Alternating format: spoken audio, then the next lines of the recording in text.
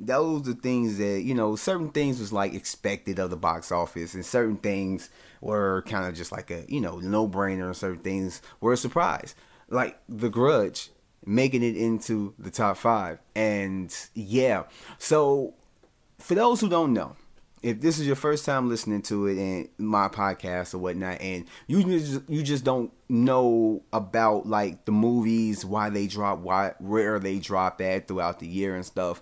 Um, points of the year are kind of like determined as dead spots, which is January and February. Not for every movie, because there are movies that have came out toward the beginning of the year, the first quarter or whatever, and like I mean exactly in the beginning of the first quarter, and actually did good. Deadpool was one of them. Uh, I can't really bring up too many of them. Uh, Black Panther. Black Panther is another one. But there are, you know, occasionally some films, one or two films within the first three months that will basically, you know, actually do good.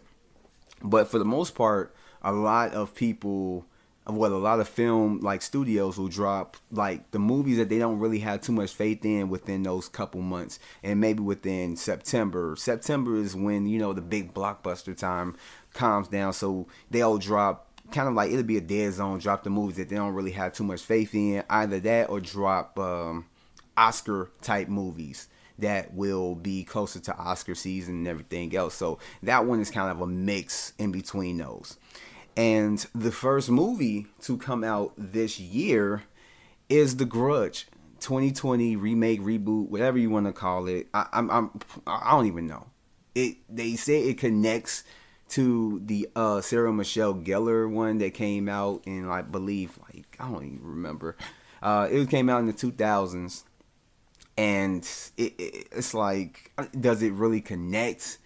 because it takes place around that same time, or is this really like a reboot, or is a soft reboot where it connects, but at the same time does acknowledge that it connects, but just establish it like if we don't say that it connects, people are just gonna believe that it's a remake or reboot or whatever the hell, but it does connect, just in case we want to do something later on. So I don't know, it's whatever, but um, it really shows this movie it, it, that it belongs in the first quarter and within the first couple months, and it it's I don't know what could say. I mean, I don't know. I've been going on and thinking about these years where like two of the reviewers that I, you know, pay attention to a lot and that, you know, really kind of got me into reviewing movies and talking about movies and everything else.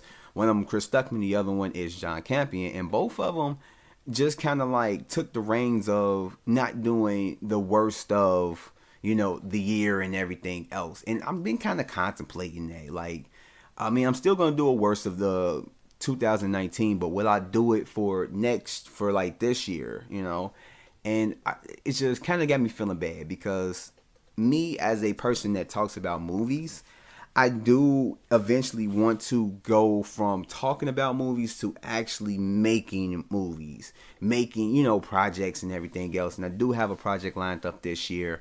I'll once I get more closer to it, I will let you guys know a little bit about it or whatever. But I do want to get more into that and I feel like if I get more into that, bashing movies and everything else will become less of a commonplace because it's like, you know, you know, when you bash movies and you make a mistake, then it's like you bash this movie for doing that, but then you do the same thing. So hey, it's whatever. But I feel like with the movies this year, I might make a change to where like if I review a bad movie, of course I'm going to review it, but at the same time may give tidbits on what I may have would have done to make it better or, you know, just what could have been done to make it better. Just kind of like not bash it, but just talk about it did all of this wrong. Maybe if it did this and blah blah blah, and basically just kind of like you know help it out, like constructive criticism or that type of stuff. I don't know, I don't know, but whatever the case is, this movie deserves to be in the beginning of the year.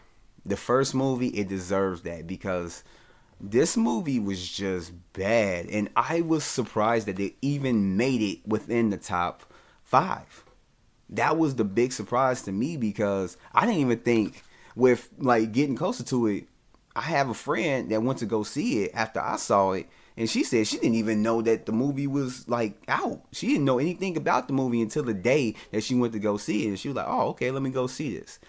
And I'm just like, "Wow." And then John Campea talked about it, you know, and it was just like, I wonder how many people did know or did not know that this movie was coming out. So if it wasn't a lot of people knowing about this movie coming out, making it into the top five, it was a surprise. And I just want to let people know, save your money.